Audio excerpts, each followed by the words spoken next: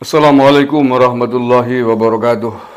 Salam Nusantara, salam sejahtera untuk kita semuanya. Salam, Om Swastiastu, Namo Buddhaya, salam kebajikan rahayu. Saudara-saudaraku sebangsa setanah air yang saya cintai, saya banggakan. Video kali ini ingin saya komentari, ingin saya bahas statement dari Profesor Suteki. Siapa Profesor Suteki? Kita simak dulu videonya, nanti kita lanjutkan. Iya, untuk BNPT itu sebenarnya juga terjadi pro kontra ya, terutama banyak juga yang mengusulkan supaya BNPT itu dibubarkan saja. Kenapa begitu? Karena selama ini banyak yang menilai ya, eh, justru BNPT itu terkesan ya memecah belah bangsa dengan menarasikan kelompok masyarakat itu terbelah menjadi kelompok yang ini radikal, moderat, fundamental. Kita kan sudah pernah ya memahami atau meng, mencermati hasil penelitian dari BNPT itu tentang apa itu masjid yang radikal, kan itu kan? Yeah. dan kampus yang radikal. Ya termasuk dosennya itu radikal dan tidak itu kan? Ada juga ini pesantren yang juga dikatakan radikal. Ini kan berarti ada upaya dalam tanda kutip nih ada upaya untuk memecah belah Eh, masyarakat atau bangsa kita ini dengan narasi radikal-radikal itu.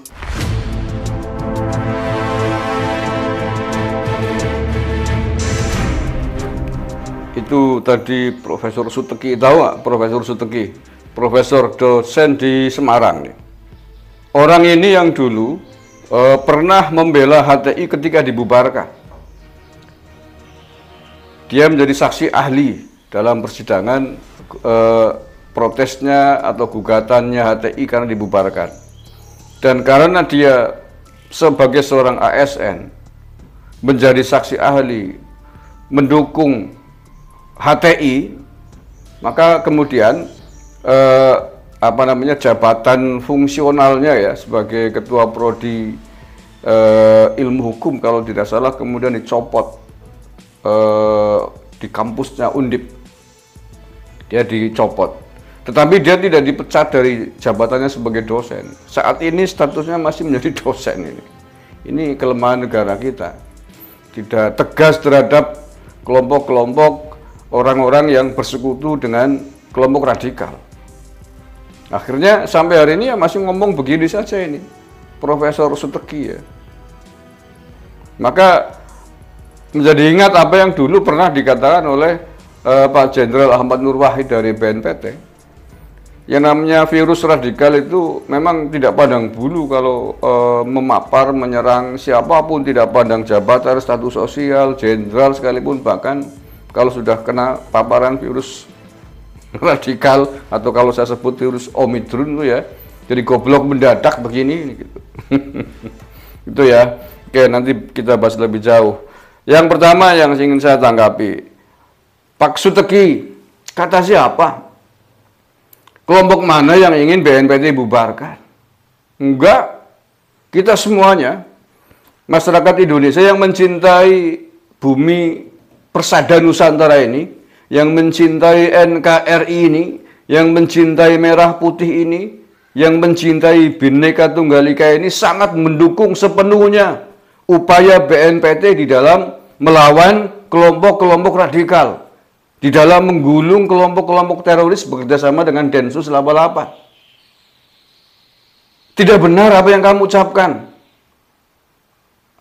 Ada banyak masyarakat yang ingin BNPT dibubarkan? Tidak. Kita semua justru mendukung BNPT sepenuhnya. Kita mendukung Densus 88 sepenuhnya di dalam memberantas, membasmi kelompok-kelompok radikal dan teroris. Karena itu yang dibutuhkan hari ini. Agar Bhinneka Tunggal Ika ini tetap tumbuh subur di bumi Nusantara. Hanya kelompok-kelompok radikal yang tidak suka dengan BNPT, tidak suka dengan Densus 88. Karena yang mengancam mereka. Lah iya, kelompok radikal kok dibiarkan, dituruti. Kalau kamu kemudian setuju BNPT dibubarkan, ya karena kamu sudah menjadi pendukung HTI. Anda pro khilafah, simpatisan HTI, akut Anda. Ya sekali lagi, kalau walaupun profesor, doktor, dan terpapar kelompok ini memang jadi goblok mendadak. Jadi tidak benar Masyarakat ingin BNPT dibubarkan. Yang ingin BNPT bubar ya hanya kelompokmu saja itu. Orang-orang yang senada dengan kamu. Tak Pak Suteki, enak saja BNPT dibubarkan. Ya biar kalau bubar nanti nggak ada kan yang menganalisis yang meminta agar kelompok-kelompok radikal teroris ditangkapi begini begitu. Tahu saya. Yang minta BNPT bubar itu hanya kelompok teroris, kelompok radikal. Itu saja. Dari jumlahnya kecil. Itu benalu NKRI. Ya, benalu kok nggak mau dipecah belah. Bukan hanya dipecah belah, benalu itu harus dihancurkan, dipangkas sampai ke akar-akarnya. Gimana sih? Ya? Jadi BNPT maju terus, Densus maju terus. Kita rakyat yang mencintai merah putih, yang mencintai NKRI, mendukung sepenuhnya Seribu persen. Bersama-sama dengan Anda di dalam memberantas kelompok radikal, memberantas kelompok-kelompok teroris. Tidak usah ragu, tidak usah takut. Kalau perlu orang-orang kayak gini, tangkap saja ini.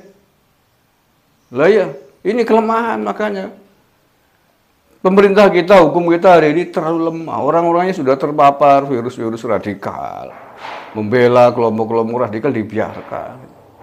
Kalau saya jadi penguasanya ya, Orang kayak Profesor Sutoki ini membelain kelompok yang ingin mendirikan khilafah HTI itu kan ingin khilafah. Bukan hanya saya pecat dari jabatan fungsional sebagai ketua jurusan, sebagai apa jabatan apa.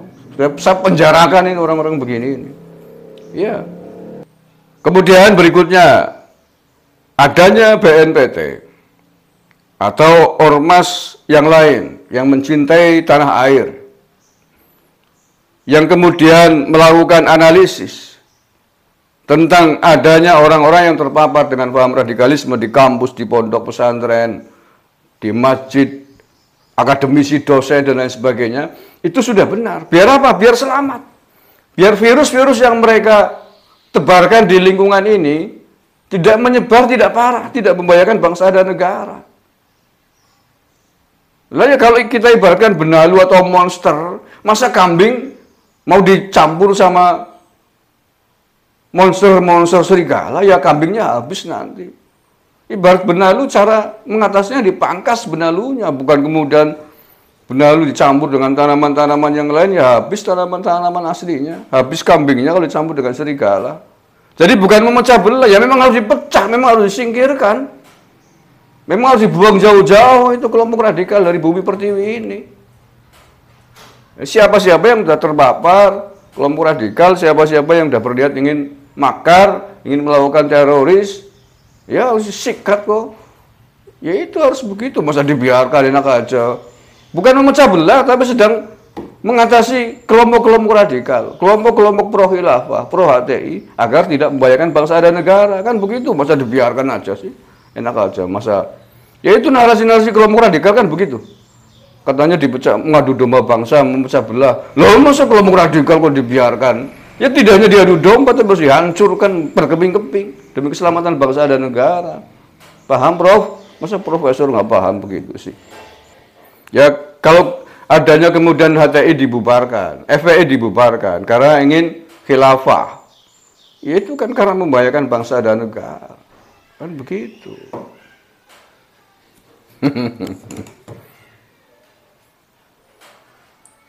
Ini ya e, tentang Suteki ini. Saya kira e, panjenengan juga sudah banyak yang paham, tapi mungkin ada yang belum.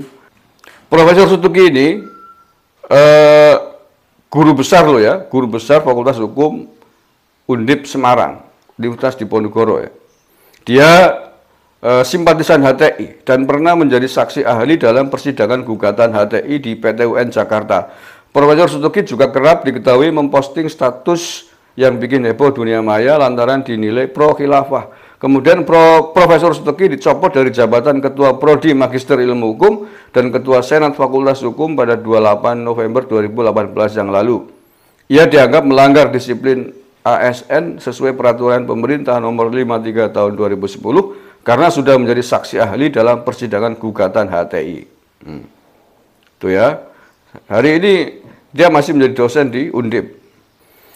Oke, mudah-mudahan ini menjadi eh, masukan bagi BNPT, Siber Baras Polri juga untuk membereskan orang-orang semacam Profesor Sutuki ini. Karena membahayakan sekali, saya sebagai profesor seolah-olah benar. Oke. Terima kasih. Assalamualaikum warahmatullahi wabarakatuh. NKRI. Harga mati.